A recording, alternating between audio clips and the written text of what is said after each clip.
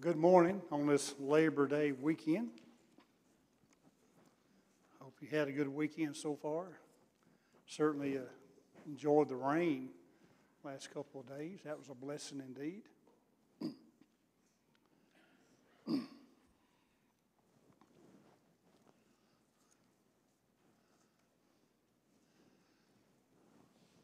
we start with a word of prayer. And Ethan, would you lead some prayer, please?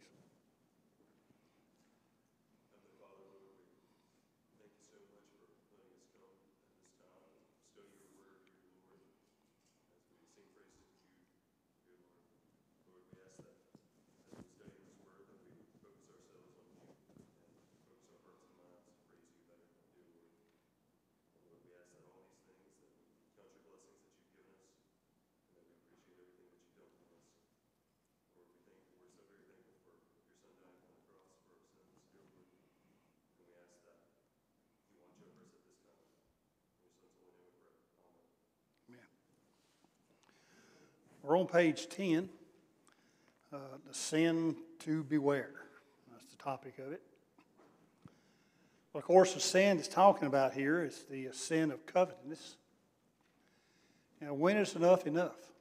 And that's where covetousness comes in. Because a person really only needs so much to survive on.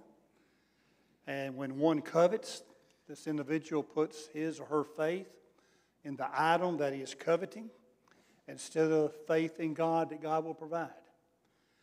And they fail to realize that every blessing that we have is a product of God and what God has given to us.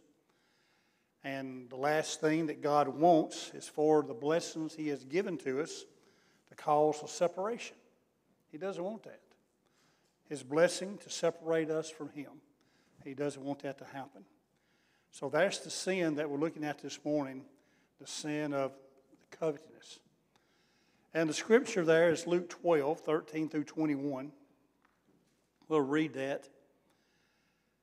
It says here, for, for uh, then one from the crowd said to him, Teacher, tell my brother to divide the inheritance with me. But he said to him, Man, who made me a, who made me a judge or an arbitrator over you? And he said to them, Take heed and beware of covetousness, for one's life does not consist in the abundance of the things he possesses.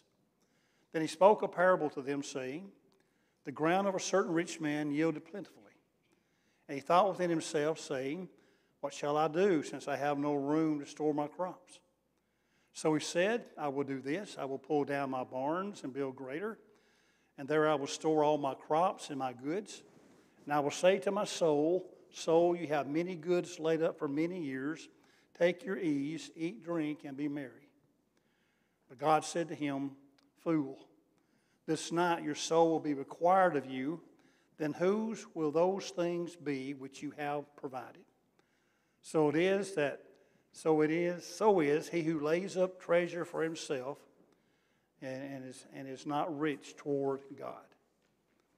So that's the parable here the Lord gives to the rich farmer, but it brings about the individual that, or two individuals that were having a quarrel over what they're going to inherit. And of course, the Lord is speaking to both of them here. Uh, when, he, when he gives a solution, at least a solution, he says, I'm not the arbitrator here. And then he talks about how one can be a covetous individual.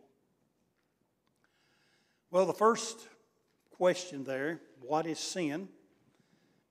And 1 John 3 and verse 4 whoever commits sin also commits lawlessness, and sin is lawlessness. The uh, Greek definition of what sin is, it means to miss the mark. If you're thinking about missing the mark, you put a target up, maybe most of us have done some target shooting before. You put a target up and you start shooting, and every time you miss, you miss the target. Well, you might say, Well, I get closer. You get closer and closer and closer, and finally, you're right there at the target. I mean, you're pointing point blank, and you shoot, and you still miss, and you wonder, how did I do that? How did I miss? Well, that's what sin is when we miss the standard that God has put before us. He wants us to live a, live a, a life of righteousness, a holiness life, a holy life. And yet, we still miss the mark that God has provided for us. And, and that's, what, that's what the definition of sin is. And, and, uh, and when it comes to covetousness and or the blessings that God has given to us, sometimes we miss the mark. And we do the opposite of what God wants us to do with these blessings. Question two What will sin do to us? And there's two verses Isaiah 59, uh, 1 and 2. I got verse 2 up. But your iniquities have separated you from your God, and your sins have hidden his face from you so that he will not hear. Sin separates us from God. We serve a, a holy God, a pure God, a sinless God. And when we commit that first sin, whatever that first sin is, whenever we reach the age of accountability, and with that, everybody's different. But at some point, we commit that first sin, and that's when we have separated ourselves from God. And uh, because we have become sinful. As Romans 6.23 there says, for the wages of sin is death. That's not much of a paycheck to sin, and then the wage of that pay, pay is death, is what it is. So the wages of sin is death, not much of a paycheck. That's spiritual death that he's speaking of here. So again, covetous, covetousness has fallen under this. It is a sin. If one commits, then one finds themselves separated from God. Number three, what sin did Jesus say we should beware? Well, again, that's covetous covetousness. Uh, Luke 12, 15, again, where he says, Take heed and beware of covetousness. That's what he's speaking of. What's the last commandment of the Ten Commandments? What's number 10? Thou shalt not covet. Just because it's the last one of the ten doesn't make it less of any other. Because it's very important, as I think the question comes up later, if uh, leads to many other sins, is what it will do. And again, just because it's last doesn't mean that the Lord means it's least. Be careful of that, what it can do.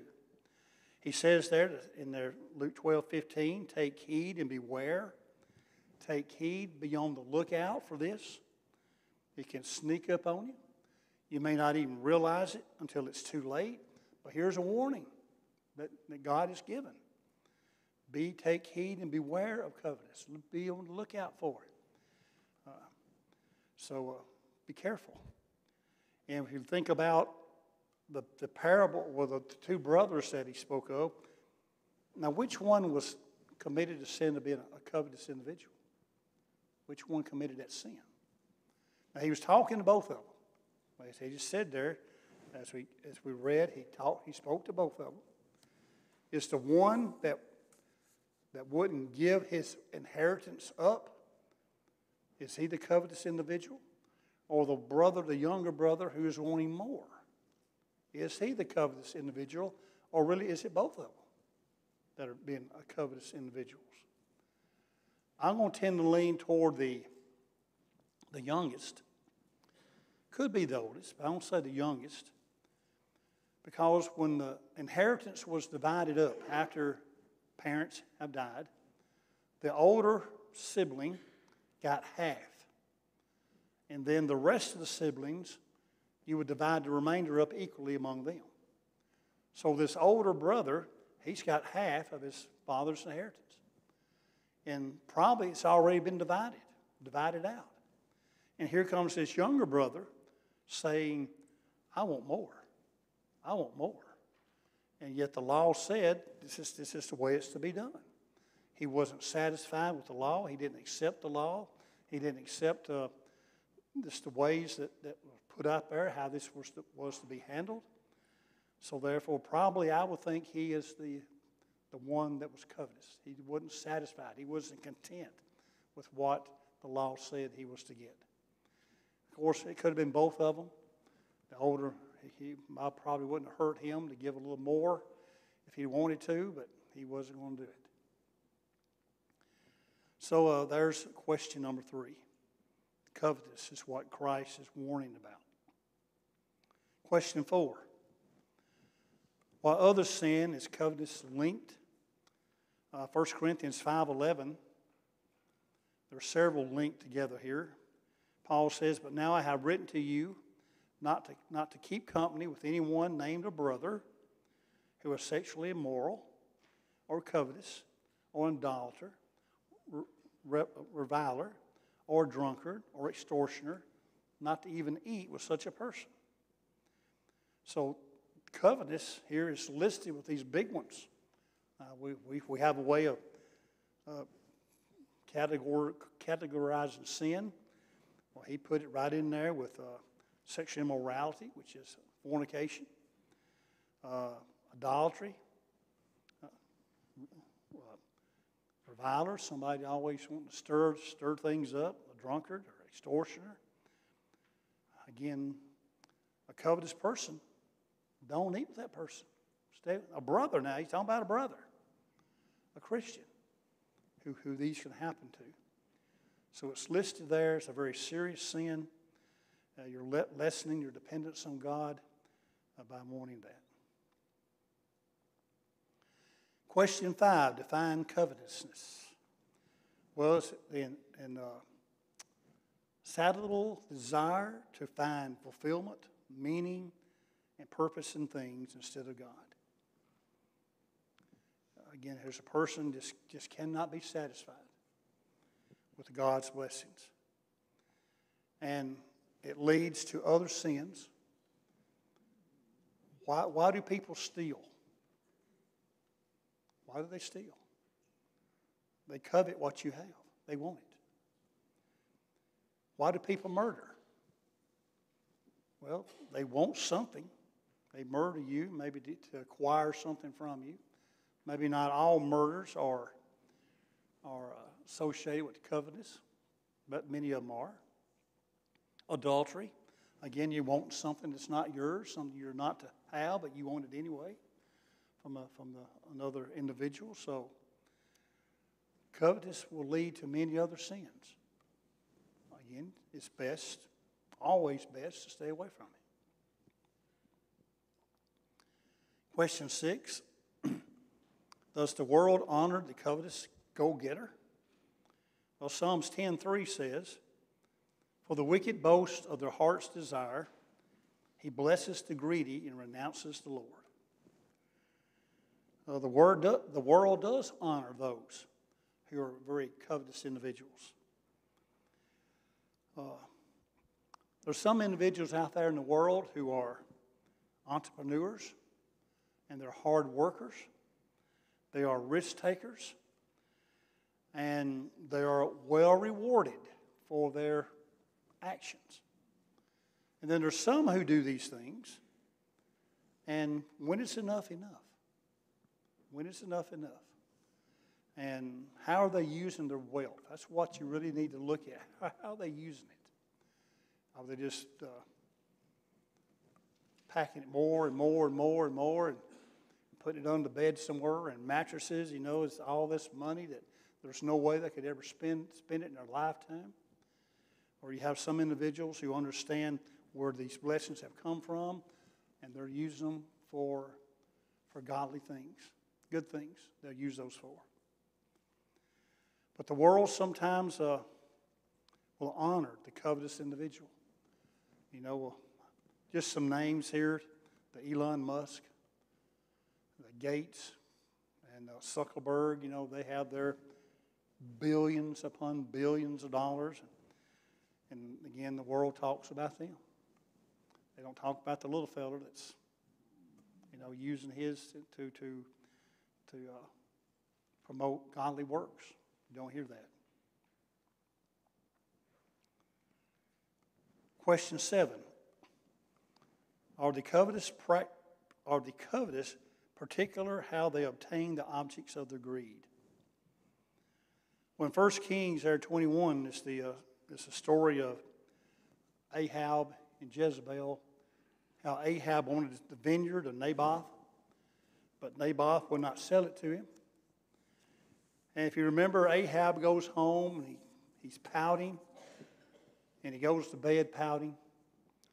And Jezebel says, Well, I'll get you your vineyard. Your vineyard. You just hang on. So she brings uh, Naboth in for a big feast. She gets some individuals to lie about him, to say that he had uh, blasphemed. And because of that, uh, you know, he's stoned. So there's, uh, like in there, uh, First Kings, there's some individuals that their greed will cause them to do a lot of things. The covenants will cause them to do a lot of things. And there we have a biblical example of Jezebel doing that very thing. How she uh, caused Naboth to die, and Ahab got his, got his vineyard. Read the rest of the story. It didn't turn out so well for him. He was out there looking at it, and that's when Elijah comes, comes up to him and tells him some very difficult news he didn't like. Question 8 How is covetousness portrayed by how we use our things as well as how we get them?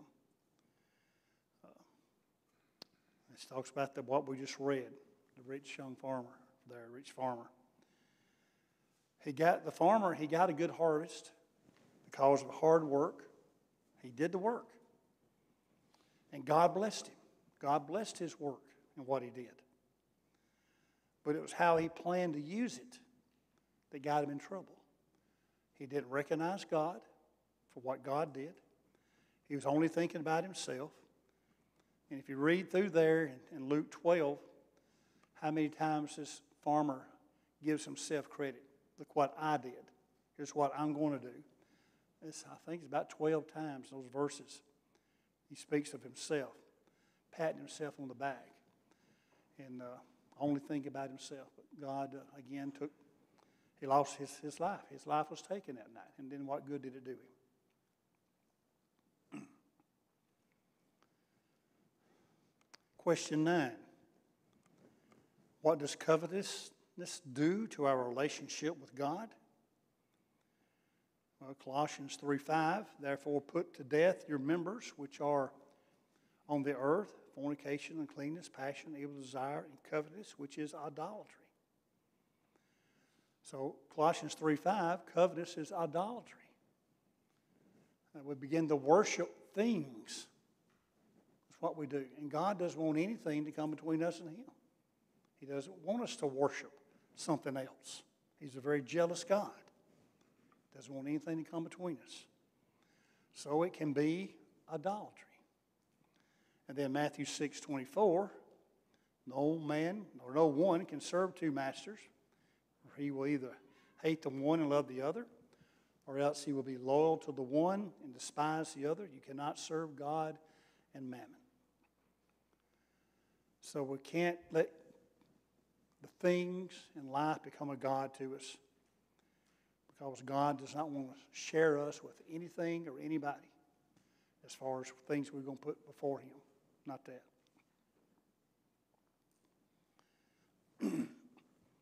Question 10 How does covetousness affect our relationship with our fellow man? Well, Amos 2 and verse 6 Thus says the Lord, For three transgressions of Israel, and for four, I will not turn away its punishment because they sell the righteous for silver and the poor for a pair of sandals. It will cause one to mistreat another individual, is what a covetous individual will do. There's no limit to what this person may do to obtain what another has. As Amos says here, now this is what Israel was doing.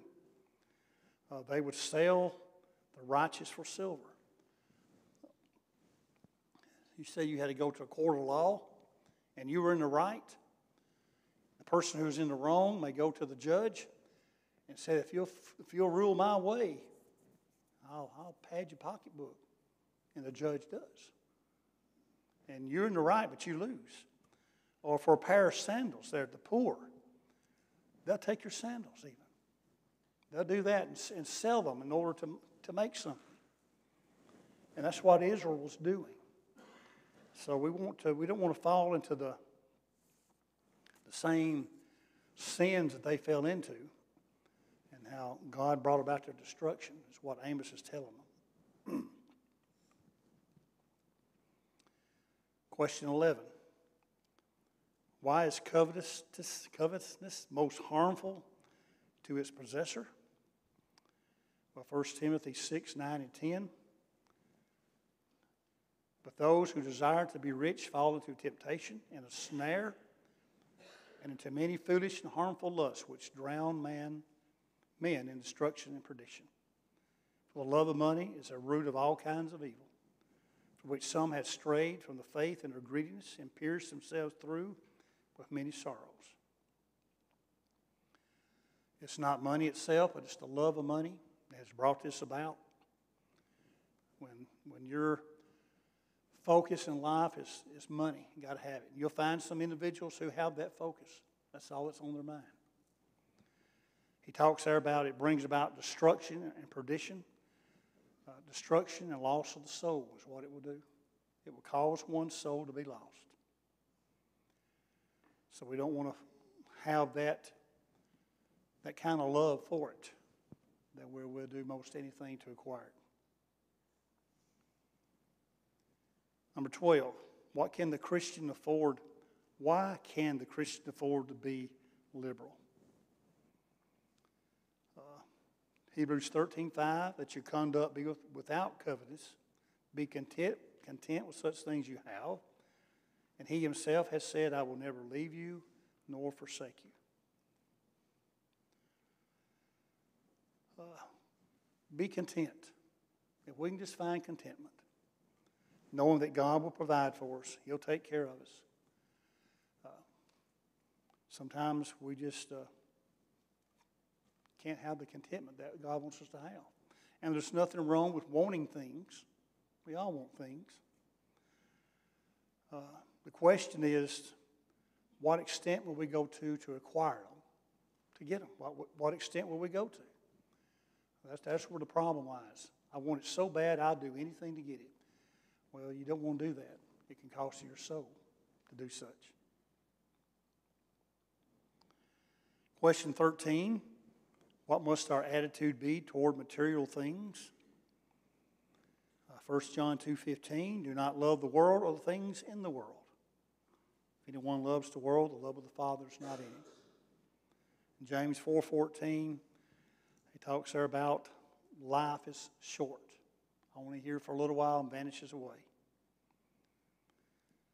Uh, be careful of the things that the world has to offer.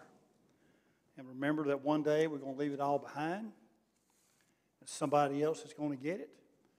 And they're going to do with it possibly what we wouldn't do, what we don't want them to do. They may do it with it anyway. In the book of Ecclesiastes, the, the thing that bothered Solomon a lot, here he is. He said, I worked hard for what I have. You know, he's the wealthiest man to ever live. I have all this wealth, and I'm going to die, and I'm going to leave it to someone who will not appreciate it. That was his, one of his greatest fears, how they might waste it and use it on things or for things that he will not approve of. And yet there's nothing he can do about it. And there's nothing we can do about it. We, we have our wheels, I guess, and we're going to leave it all behind one day. And we may think we have a little bit of control over it. We tell them how to use it, but things can change. That can change quickly. Number 14, what is the real cure for covetousness. Uh, first, I have a, he has Matthew 16. I got 1 Timothy 6, 6 through 8. Now, godliness with contentment is great gain. We brought nothing to this world, and it's certain that we can carry nothing out. And having food and clothing, with these we shall be content. The more contentment we have, the more happiness we will have. And we need to be content with our daily blessings that God's given to us. If we'll just sit down and count them, I mean literally count them, what He has done, then we'll, we'll be happier, more content. The classroom questions What evils do you see in the world because of covetousness? Well, we, we read 1 Corinthians 5.11. It's all there. Uh, sexual immorality, idolatry, drunkenness, extortion. Uh, war is one that's a product of covetousness. Somebody want another country want what another one has. War. A lot of, lot of lives have been lost because of covetous dealing with war. Number two, what causes people to covet? Are they born that way? Well, first of all, we're not born that way. If it's a sin, then we wouldn't have it. We're not born with that. But one factor that plays a deal with, with our covetousness is commercialization. You know, TV tells us, commercials tell us your life will be so much better if you have this. You just have one more and you get it, and before you know it, here comes another new one out that's better. You got to have it. And uh, those who are promoting it, they want your money, is what they're wanting. But we'll just uh, be satisfied with what we have and not fall for the trickery, well, then we'll be better off. Looking at what others have is another reason that can cause us to covet. I wish I had that. They sure do look happy because they have this. And we think if I get it, it won't happen. Uh, we get what they got, then they upgrade. Here we go again. Chasing the dog chasing his tail. And number three, is there any way one can determine for himself if he is covetous? Well, am I content? Am I content or am I always wanting what somebody else has? Am I always wanting the newest product? That might be a, a, warning for us if we're just not content, that we may have a little bit of covetousness in us. And be careful of that and leave it alone. Be content. So this was a one that got to look out for because it can it can sneak up sneak up on us and not even recognize it. Any comment or questions on the on the lesson? Any of them? All right, time for the bell. We'll end here.